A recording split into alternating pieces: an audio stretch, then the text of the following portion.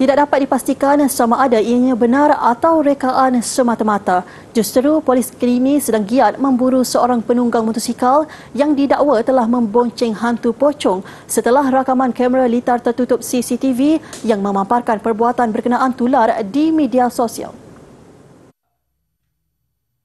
Ketua Bahagian Hubungan Masyarakat Polis Kulon Progo AKP Tiratimi Noviar Tuti berkata, tindakan itu perlu dilakukan bagi menghilangkan rasa resah masyarakat selain bagi memastikan kejadian sebenar di sebalik rakaman CCTV itu. Rakaman itu difahamkan diambil di sekitar laluan di Kalurahan Jatirejo, Kapanewan Lendah, Kulon Progo pada minggu lalu. Berdasarkan rakaman awal, difahamkan pembonceng ketiga motosikal itu dipercayai pocong. Bagaimanapun keterangan penunggang motosikal itu nanti akan dapat merungkai perkara sebenar mengenai kejadian mistik itu. Rakaman CCTV itu tular di semua platform media sosial malah mendapat tontonan yang tinggi di platform Instagram dengan lebih 350,000 jumlah tontonan.